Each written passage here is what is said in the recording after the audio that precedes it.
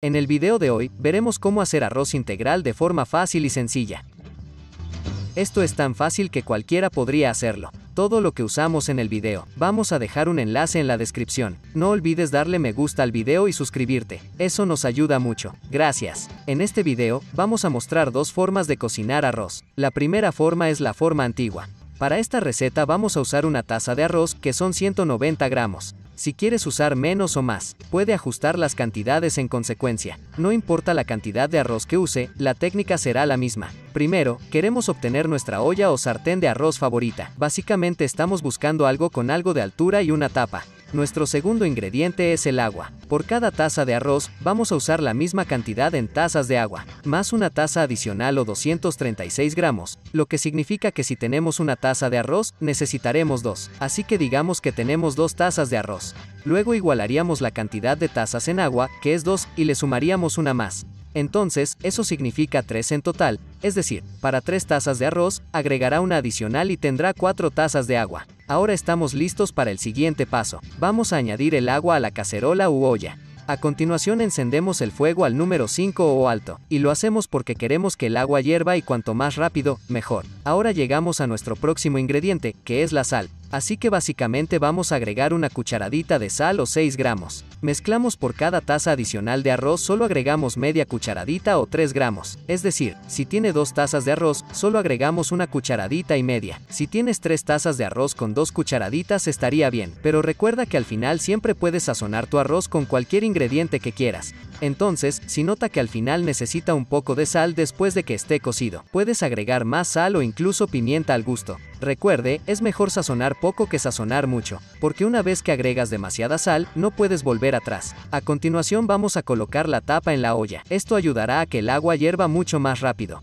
Mientras esperamos que hierva el agua, llevaremos el arroz al fregadero y lo limpiaremos. Vamos a enjuagar hasta que veamos que el agua sale clara. Esto ayudará a limpiarlo, eliminar cualquier impureza o cualquier exceso de almidón. Y lo haremos con agua fría. Ahora que tenemos nuestro arroz limpio, podemos llevar nuestro arroz a nuestra olla. Nos aseguramos de que el agua esté hirviendo, y luego de inmediato, queremos bajar la temperatura a media baja o al número 3. Después colocamos el arroz. Pero digamos que en algunos casos tienes una tapa que tiene un agujero, o tapa que notas que no cubre bien y ves evaporación por los lados, o tiene una tapa que no es lo suficientemente pesada y hace ruido o se mueve. Tenemos tres consejos que pueden ayudarte. 1. Puedes bajar la temperatura a bajo medio, bajo o dos y medio. Esto ayudaría a que el agua se evapore menos. Si tienes un agujero en la tapa, puede tomar el pequeño trozo de papel o papel de aluminio y pegarlo en el agujero. O si tu tapa hace ruido o se mueve o tiene un agujero, puedes colocar una toalla sobre la tapa. Y ahora viene la parte más difícil de todo el video y eso es esperar. Y mientras esperamos no queremos abrir la tapa. Vamos a esperar un mínimo de 45 minutos. Pero recuerda siempre que si notas que aún está un poco pegajoso o húmedo, puedes subir hasta una hora y revisar en intervalos de 5 a 10 minutos. Es por eso que un consejo profesional es tener una tapa transparente porque puedes ver cómo se cocina el arroz sin tener que abrirla. Y como ves, tenemos un arroz perfectamente cocinado, granulado y nada pegajoso. Bien cocinado y suave, pero digamos que quieres ahorrar algo de tiempo en el proceso de cocción. Aquí tenemos la segunda forma de cocinar el arroz integral, y en este método particular que vamos a usar para cada taza de arroz que usemos. Y vamos a agregar dos tazas adicionales de agua, que son 472 gramos adicionales.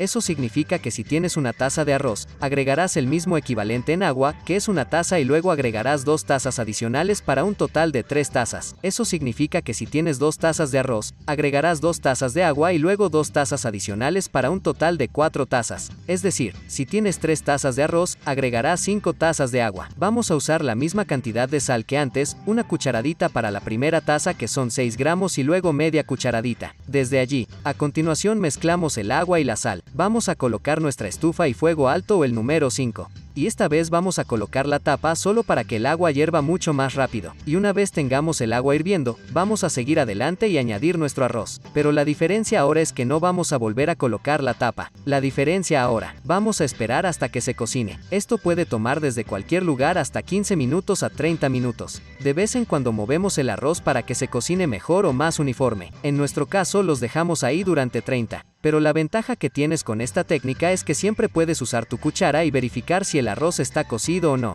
Y como puedes ver, el arroz está cocido y no pegajoso. Es granulado como nos gusta. Lo vamos a llevar o bien al fregadero o bien a un bol con colador de malla y nos aseguraremos de quitarle todo el agua. Incluso que crees que el arroz estará húmedo. No lo estará, pero si los colocas uno al lado del otro, se ven y saben igual. Pero si buscas ahorrar tiempo, este es el camino a seguir. Pero si buscas el arroz granulado perfecto, la primera opción es la mejor. Pero no importa qué técnica uses, el ganador eres tú. Puedes darte una palmadita en la espalda por un trabajo bien hecho. No olvides, si te gusta el video, por favor danos un pulgar hacia arriba que realmente ayuda. Si tiene alguna pregunta, colócala en la sección de comentarios a continuación. Cualquiera en el equipo de Statop Box o alguien en la comunidad de YouTube puede ayudarte con una respuesta. No olvides suscribirte. Síguenos en las redes sociales. Gracias por mirar y aquí hay un enlace a nuestro último video.